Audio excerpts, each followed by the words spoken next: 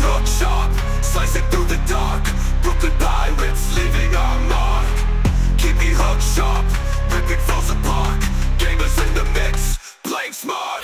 Yo ho, yo ho, yo ho! It's your boy, Captain Hook, and welcome back to the Captain Hook Show. And if you're a longtime subscriber, welcome back aboard. And if you're new to the channel, the game that we are playing is none other than Last War.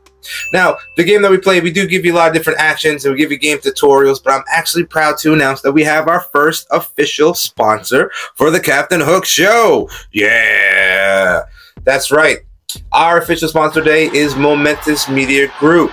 Now, if you yourself like to make video game content, or you would like to become a YouTuber and make video games just like the Captain Hook Show, or if you want to do other games or other similar content as well, Momentous Media Group will help you get started and allow you to do everything you need to get your message and your image out there.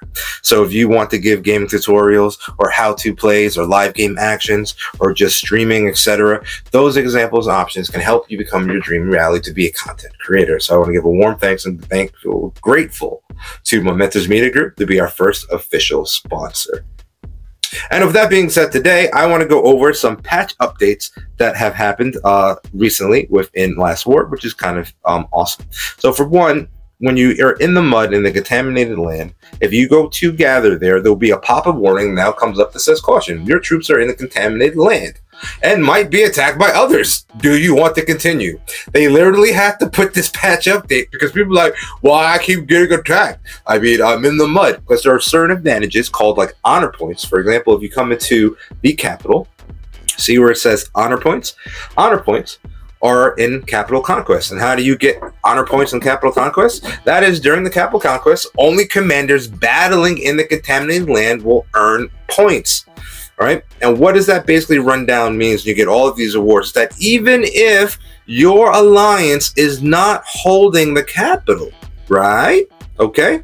Even if your alliance is not holding the capital, and you during the capital event actually tile hit each other, which is like conveniently open as a strategic strategy, you can actually get honor points even if your territory is not touching. For example, if your alliance like uh over here, um let's give a shout out to Alliance I1L, right? They're not anywhere close to the capital. No offense, this is the way it is. They can still get honor points and still get the uh, uh, the rewards here, and that would be from attacking, killing, or gathering troops within the mud right?